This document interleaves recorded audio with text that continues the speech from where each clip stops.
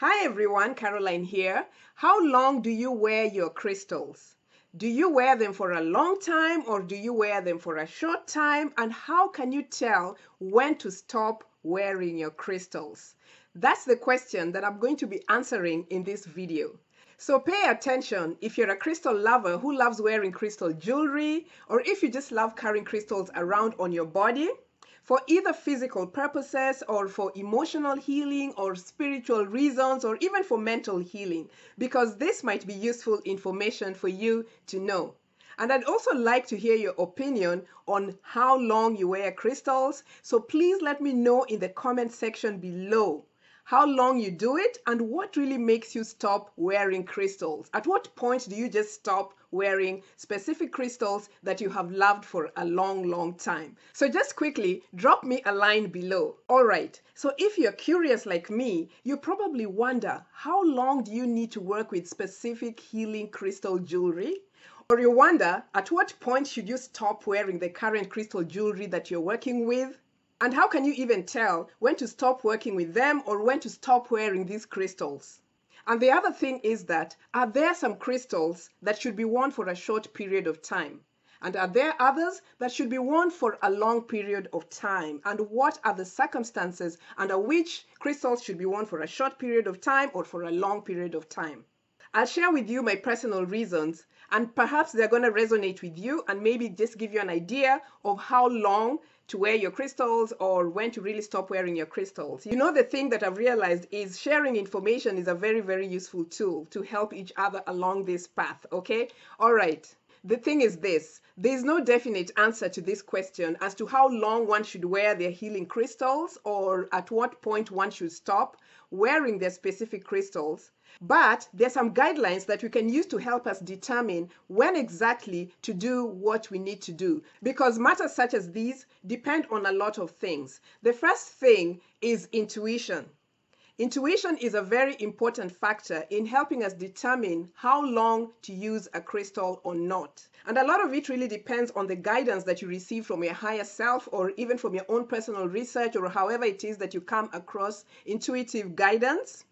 And following your own internal radar is so, so key. I cannot even underestimate the power of your own inner guidance, your own inner North Star. So, very, very important to follow that. And how to follow this is to feel your energy, to sense your energy when you're working with crystals. Because at some point, you will begin to notice that your body reacts to certain crystals or to your experiences with certain crystals in a particular way. And that's why it's really important when working with crystals to be really aware of your energy and how you're feeling at any given moment. And when you introduce tools like crystals, it's even more important to pay particular attention so that you're just not wearing crystals for the sake of wearing crystals. Okay. I think that for me at this point, it's very, very important that people understand the importance of working together with your crystals to help you achieve specific purposes. We cannot be asleep to these matters anymore.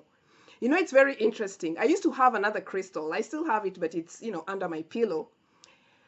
I used to sleep with a specific quartz crystal. And I had been sleeping with this crystal for a long time. I used to hold it in my hand.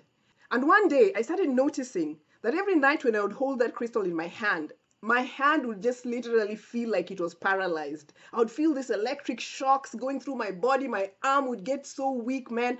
I was just like, what is going on with this crystal? You know, what's happening right now? And I began to realize, you know, that the job that the crystal had in helping me really enter some realms in spirit and really helping me have these beautiful dreams was over. You know, I just used to feel this connection to something when I was sleeping with that particular crystal. And I love that crystal. I still love it so much, but I cannot hold it in my hands anymore. My hands just kind of just die their own death. And I kind of sometimes just have to throw that crystal away from me just in order for me to feel like the blood pumping back into my body. I mean, it's the strangest experience, but I knew at that particular point that my work with that crystal was over. That was the point at which the relationship was over, the party was over. So things like these, when you're working with crystals, how do you know when to stop working with a particular crystal?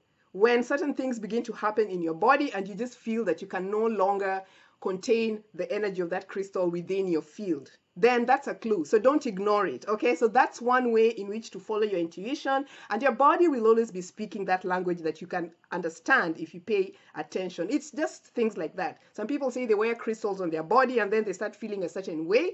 And there's a reason sometimes why you feel a certain way. And it's not always bad. Sometimes it's for you to look deeper into the issue that the crystal is bringing to your attention. But then at other times, the job is done and it's time for you to let go of that crystal because you've probably worked through that situation or you probably need another crystal to now come in to complete the process or to take you to the next step of your evolution. So it's just so much fun. So the first thing and the first way to know is intuition. Okay?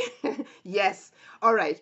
So the second thing I want to say about this is that there's some crystals that you can actually wear for a long period of time. Some people wear crystals like, okay, since they were babies until right this moment. It's been a long time and they've had that specific crystal maybe around their neck or whatever for a long period of time. There's some crystals which are like that because maybe they've been tuned up to your energy signature and maybe there's a specific purpose for which you know that that crystal is in your life. Maybe it was given to you. Maybe it's some kind of totem. Maybe it's some kind of, it has some symbol behind it. Who knows, okay? But there's some crystals that people wear for symbolic reasons for long periods of time. And that's fine. And those crystals are long term crystals. Oh, but I just got to mention that even for these long term use crystals, it's very important to keep them cleansed and to keep them charged at all times because a lot of energies can really interfere with original purposes of the crystal, whether they are there for you to use for a long term for whatever reason, for whatever spiritual reason, for whatever symbolic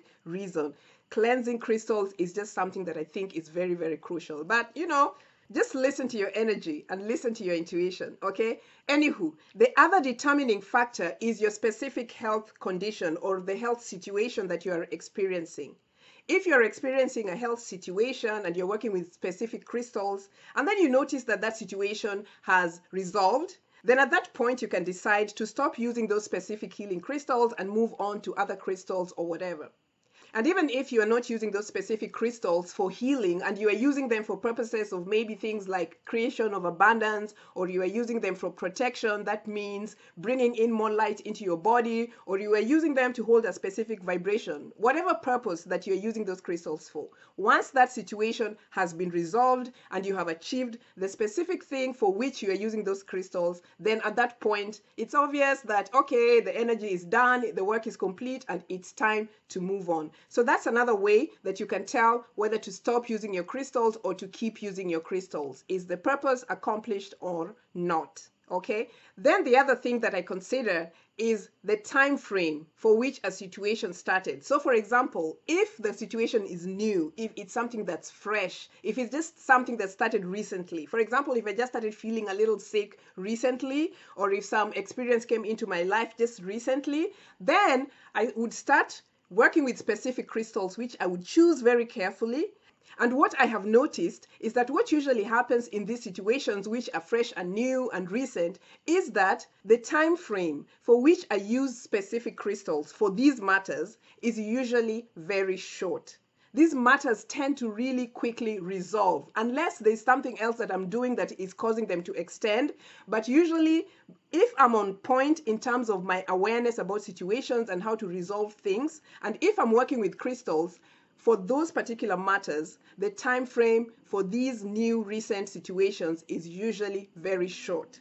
On the other hand, when I'm working on situations that have been going on for a long, long time, I notice that the time frame for which I use crystals is usually longer because the matters involved are deeper. They're root level, they're blood or life force issues, they're bone or structural issues. These are deep, deep stuff. And sometimes working with crystal takes a long, long term to really, really unearth the root of these particular matters. So I weigh is this a new problem or a long term situation? And then based on that, I know roughly how long I'm going to be working with a crystal. So I really love this method of how to look at situations in my life and work with my crystals.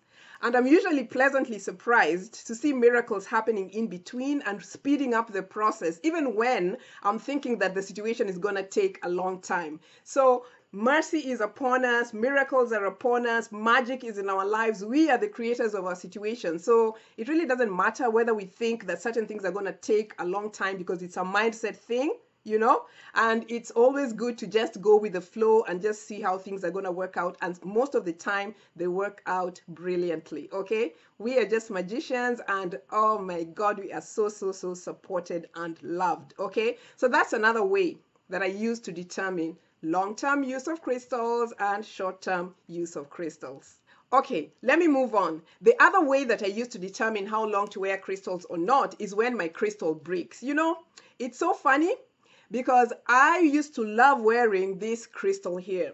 This is my green aventurine necklace. You've probably seen it in many of my videos. This is my baby right here. You know, it's so interesting because there are certain periods of time when I'm really drawn to work with this crystal. This crystal is magic, I tell you, especially for me, for so many reasons, which I can't even go into in this video. So one day, a few months ago, I was filled with such anxiety. I remember it was a full moon day, and I was filled with so much anxiety. And I had this crystal around my neck, and I had gone to bed. And then, sometime early in the morning, I just woke up and I noticed that this crystal necklace had snapped. You see, I haven't even put it back together. It, it just snapped and it just fell off gently on my side. Thank God I didn't lose any of the beads. And I noticed instantly that there was a strong message that was coming through. And that was why my crystal had snapped. Man, I was filled with so much anxiety. And this crystal, I think it just had had it. And it just wanted to let me know stop. Okay? Why are you feeling anxious? You know, what's this anxiety about? And you know what? Someone had mentioned something very interesting about what anxiety is. The person had described anxiety as imagining crap, imagining crap that you don't want. So I was like, oh my God, Caroline, you know, stop imagining crap that you don't want. You're filled with anxiety because you're imagining crap that you don't want.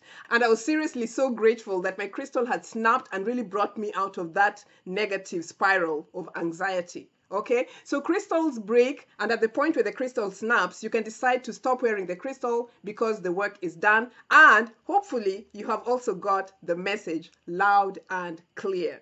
And now that I think about it, you know, there was a time when I used to wear aquamarine crystals on my throat chakra, and those crystals could never ever stay on me. They would just crack in half or they would snap somehow.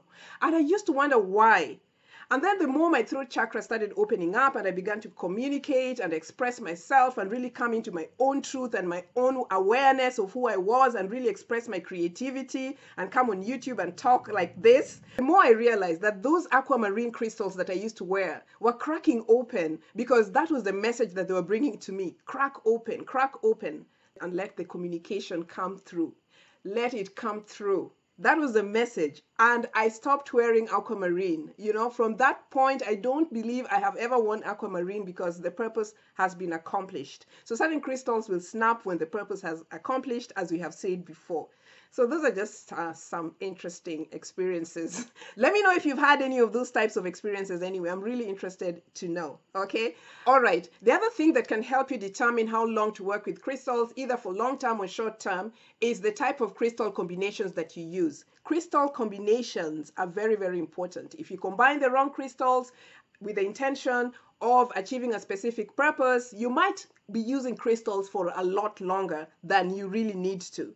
But if you're consciously working with the right crystals or the right crystal combinations, then you'll notice that the time period for why you need specific crystals is much, much shorter. So crystal combinations is another way.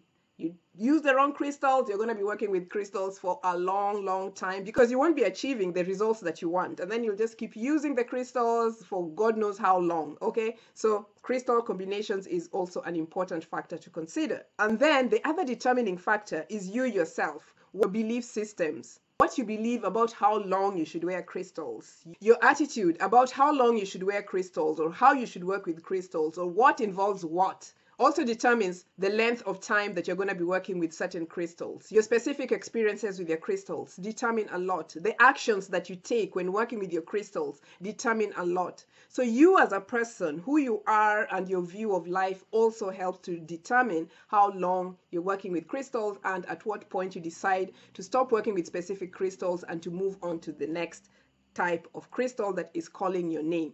Okay, so How long do you wear your crystals? And under what circumstances do you stop wearing these particular crystals? Comment section below, okay? Good, thank you. Feel free to email me at caroline at crystalstalk.com. I offer personal one on one consultations that's very different from a lot of things. You're going to be blessed. So hit me up at my email.